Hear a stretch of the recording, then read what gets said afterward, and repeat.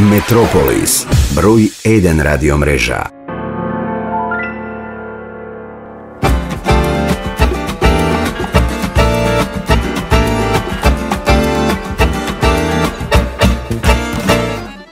Uštedili zdanje na, pretpostavljam, vaša to miljena YouTube emisija, ti rekao mi reče, podržano najdobro to Metropolis radio. Prva emisija za 2023. godina. Специјално издание како прв ден за оваа година, специјално издание како што реков со мене денес Мишел Трајковски, најдобар хармоникаш во Македонија, Европа и пошироко. Како си Мишел? Се наоѓаме на твојата промоција. Благодарам, одлично се сега. Само ќе ми збориш малце погласно? Одлично се осеќам и преубаво ми е бидејќи веќе е полн кафичот и си поминуваме одлично. Имаш трема, морам да, да приметам, да забележам. Па морам да признам да, со волку убави луѓе мене секогаш. А, да, вториот ми најбов. Добро, кажи ми сиеста. Сиеста. Од каде дојде до ова име? Што значи сиеста? Сиеста всушност значи една а, прекрасна попладневна дремка. На која кој верувам, јазик? а, На шпански јазик. Ја мислев на бугарски. Не, на шпански, за која верувам дека сите нас, сите ние доживуваме барем еднаш во, во текот на, на месецот и сонуваме за оние работи кои не ни се остварени во животот, сонуваме за оние среќни убави моменти и да не ви открива, да не ви откривам темата всушност, тоа е и темата, една преубава сиеста. Да, кажи ми дали сите твои желби ти ги оствари за 2022 година, изминатата година? Што помена? Се надевам дека да, голем процент од моите желби ги ги оствари оваа година. Фала ти. Како не може? Ајде, може. ајде. Може, може да. Може. Топ. Да, да снимам. Ти реков ми рече. Фанови, фанови од секоја страна. Имаш ли фанови?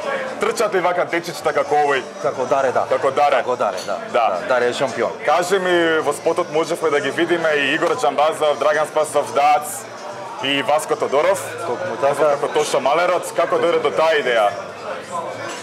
Искрен да видам, кога започнавме да го пишуваме сценариото, ја добив таа идеја да бидат Игор, Дац, Васко, се појавува Наум Петревски, Вели Борџаровски, Джаро, Марија Лазарова, да не ја браво. која ни го краси. Марија, да, млада, талентирана девојка. И мислам дека за сите имаше онака баш одреден лик и сите одговорија онака најпрофесионално, мислам дека тие се нашите македонски легенди за Така е, нема така е, ништо така да коментирам. Добро, добро, најголемата легенда стои пред тебе, да бидеме реални. А најголемата музичка легенда е пред мене. Кажи ми, дали ти побараа пари овие легенди во спотот? Вака, пред се станува збор за мои блиски пријатели. Не би сакал нели да разговарам и да го откривам хонорарот на сите поединечно. Само можам да кажам дека се работи за прекрасен проект и ми е навистина многу драго што сите овие наши македонски легенди се најдоа на мојот видеозапис. Кажи ми, Сиеста, дали очекуваш голем успех со нејзе во оваа 2023 година? Дали ќе биде бара на, на твоите настапи? Не можам да знам. Оставам Од прилика, од прилика. Не, не би сакал да Мораш да имаш некој пречувство во тебе, дали ќе дали ова е успешен проект, дали ќе биде, дали нема да биде успешен проект. Мораш да имаш некој Во пречувство. однос на композицијата, Добра. а, можам со сигурно со сигурност да кажам дека се работи за нешто поразлично. Добра. етно, македонски, латино примеси, измешана музика во едно.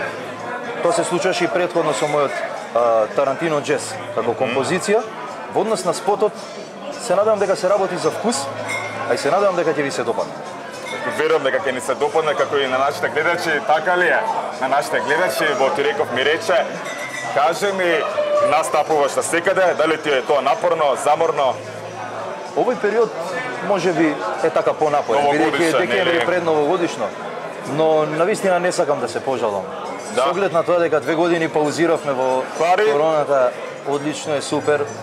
Пред се ми е многу мило што ја радуваме публиката и што после секој настап луѓето излегуваат среќни од ресторан, бар, кафана. Дали планираш некоја турнеја надвор од Македонија? Да, во февруари одам за Австралија. Опа, ајде таму, повеќе за Австралија. Ќе бидам таму. Па агендата имаме објавено на интернет во однос на на концертите, веќе кружат на социјалните мрежи, ќе бидеме Сиднеј, Мелбурн, Перт, Њукасл. Браво. И така. А, Стимаме на, во, на твојата промоција. Кажи ми, кои од јавните личности се поканети овде? Има голем број на јавни личности, односно тоа се мои драги и блиски колеги, така да ќе имате можност вие да проследите Така е, така е, дефинитивно. Кажи ми, на која јавна личност ти би му плутал у фаца? на никого. Мора со некој да се скара, некој да ти Со никого. иритира. Со никого не сум скаран, имам а, мој круг на ептен блиски пријатели, но си ги почитувам сите колеги, бидејќи со секој еден мислам дека може да се направи соработа и не се знае кога би имале таа соработа. Мислам дека сме многу мала земја и многу малку народ за толку многу да се караме. Дали мислиш дека си имаш остварено како како музичар, како хармоникаш? Се Мислам уште е рано, ќе те Се прашам за твоите години, ама Се уште е рано мислам дека сум пет години на на естрадата, на сцената, Ова ми е трет поголем проект. добитник си на награди. Може да се каже, јас сум Да. трикратен првак во во, харме, во хармоника. Тоа Се заслужува аплауз, еве јас ќе те аплодирам. Благодарам. Публика аплауз, може ли? Некои нови планови за 2023 брак, нешто? Или таа тема не ќе да ја Со чепкаме? Господ напред, никогаш ништо не се знае. Во однос на музичките планови, да, нов а, музички албум заедно со Джамбо Агушев и Macedonian Nostar, Браво. бендот кој се Значи, надевам дека планирате ќе- албум? Да, кој ќе биде наменет нормално за тука во Македонија, но и за надвор на странски фестивали. Да, дали планираш на пример песни на пример на странски јазик? Не се, Српски, не, не бугарски. се исклучува ни таа можност во зависност од соработката. Браво. Ко овој дуети некој, освен со Джамба? Не би сакал да откриам, веќе преговараме за два дуети, но да оставиме прво да го Со реализираме наши пејачи, со наши пејачи, дел од нив се дело мојот видеозапис. Охо, добре, веќе ми е јасно за кога оставиме- станува Да збор. оставиме на времето На публиката да на види за кога ќе дојде ред за промоција, повторно ќе ве поканам. Фала ти што не покани, ќе не и дојдеш и во студио во Метрополис радио, најдобрата радио, така ли? е? Го слушаш ли Метрополис? Го слушам, поздрав до целата екипа, до Маја И Касакова. наскоро гостуваш кај Маја, така ли е? За скоро време ќе бидам За скоро време. Фала ти што беше гостин во ова специјално издание и фала ти што ме покани на твојата промоција да снимиме една вакво интервју специјално за твојата промоција Сиеста. Така да ти посакувам многу успеси и се гледаме наскоро со новиот албум. Ова беше Мишел Трајковски, најдобар хармоникаш.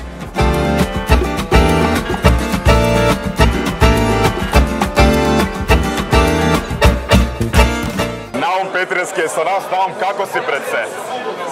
Благодарам на прашање, многу добро. Ја завршуваме 2000, фала. Ја завршуваме 2022 година, започнуваме со 2023. Како ќе одбележиме, како ќе оцениш 2022 година за тебе? Како ти помина? Па 22 некако многу брзо помина. Да. Бидејќи имав ја некои концерти што работев Битола и Охрид.